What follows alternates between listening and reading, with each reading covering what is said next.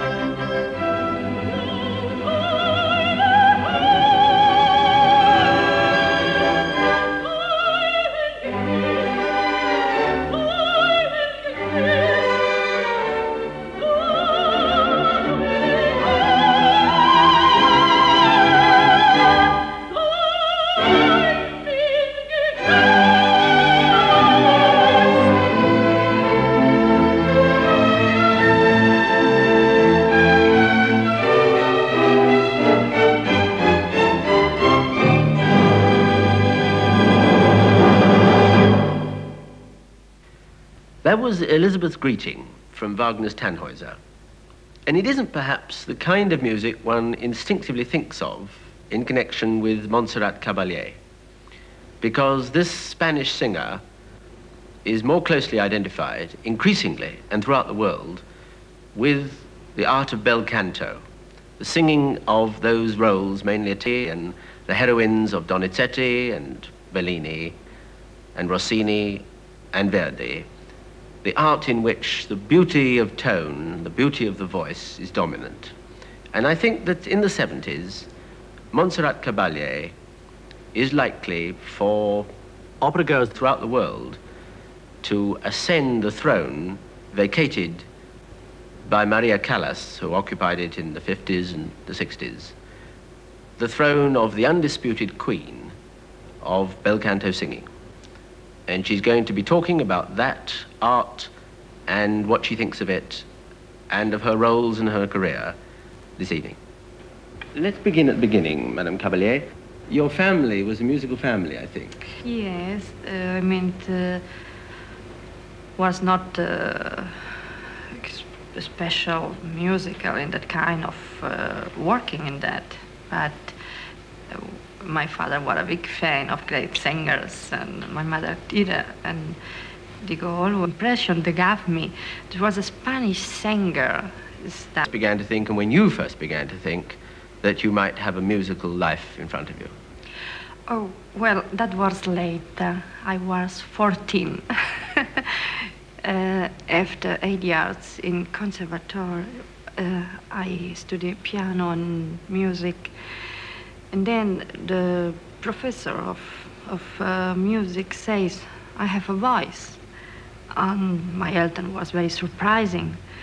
But Papa says that's not new. Myself, I have a voice, mm-hmm. so that's uh, normal.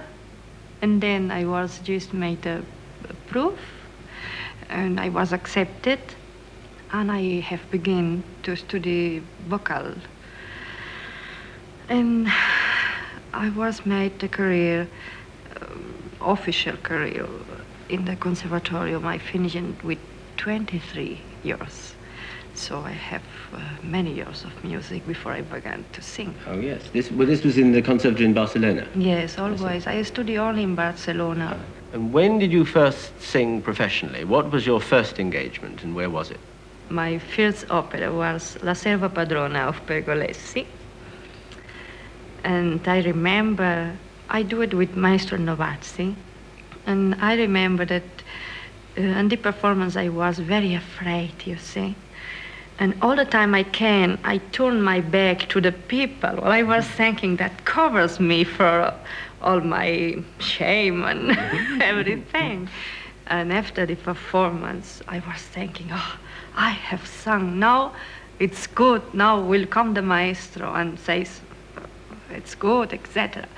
And he came so mad to mm-hmm. me and he says, All the time will you beg. I see only your back. I listen nothing to your voice. Well, what's anyway was an experience, my stage. but anyway, uh, that was my beginning. That was in Spain. And immediately I was to Italy for my uh, auditions. The first one was in Naples and I arrived very, very sure of myself, you know, very sure. I sang Sonnambula and uh, In quelle trine morbide of Manon Lescaut. And Di Costanzo is a friend of mine today. He laughs always when he remembers. uh, he listened to me and he says, well, you are a little nice voice. I know, thank you have more voice to sing in your home. But anyway, it's nice. well, oh, for me it was a shocking. then my second audition was in Rome for a very important agent in Italy. He listened to me and he says, my dear child, I think it's better you go again home and you marry, you see. I think you are a wonderful thing to be a good mother. so can you imagine? I was so depressed after that two auditions. then I was to Florence to make my last audition where I was thinking, three is enough. But the three, I try again. I try. And that was for Maestro Siciliani, uh, that was uh, today is the chief of La Rai in Italy. And Siciliani listened to me and he liked the voice. And he engaged me to sing a Spanish opera, La Vida Breve. And I was very happy. And so that was my beginning. I was 24. And then for one year I sang nothing. Well, it was not contracts. And then Siciliani sent me to uh, Basel in Switzerland. It uh, was a nice theater. I was learned very much in Basel. I think you first sang in England at Glyndebourne when you sang the Marschallin in Rosenkavalier and the Countess in Figaro. Now, Glyndebourne, as you may know, has a reputation over the years for finding great singers at the beginning of their career. How did your Glyndebourne engagements come about? Well, it was a, a very pleasant experience. But in the moment when I came to Glyndebourne was the, let's say, the beginning of the international career I have done. And I have really not uh, so much time to, to, the Marschallin, for example, was the first time I sang the Marschallin. Was it? Mm.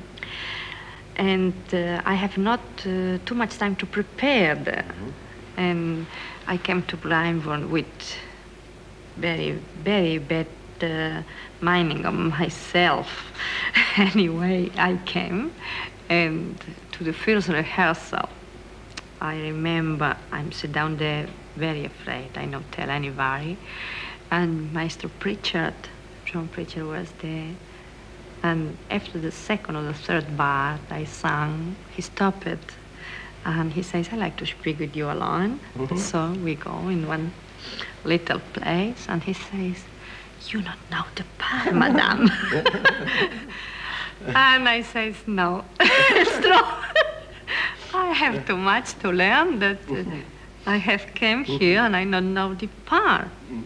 And that was on the 22 of April, and the premiere was 16 of Ma- uh, May. And uh, I says, uh, I'm sorry, so you have to replace you to take another singer.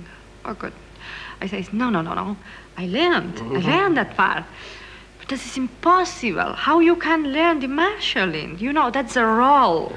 That you says, well, you never understand what that for a role is, he says. I mean, he was, and that's normal. That's true. That's the truth. I know that it's not.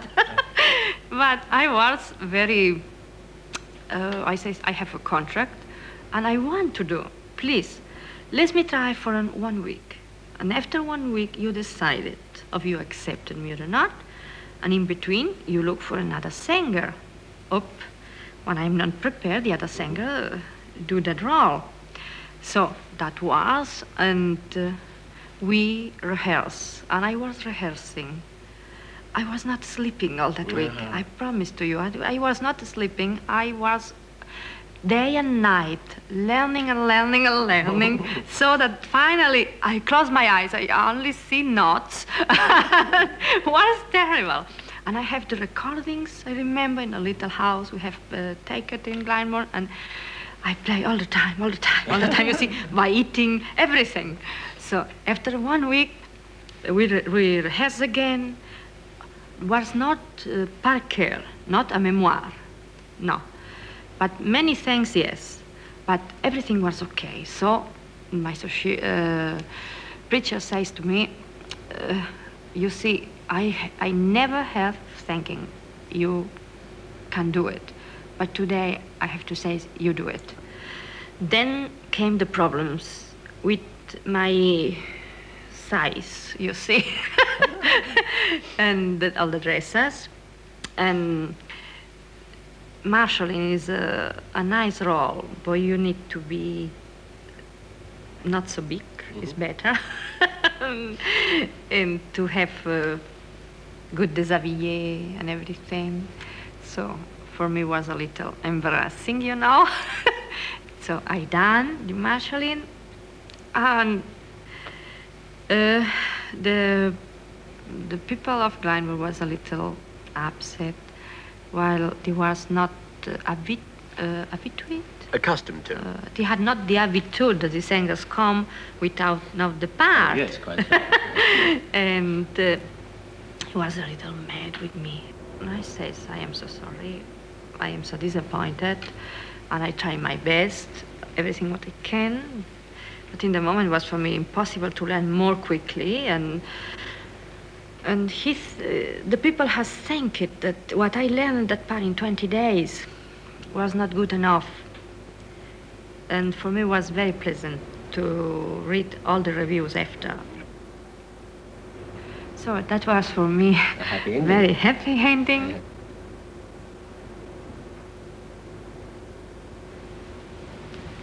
Anyway, not anything was terrible in Glyndebourne.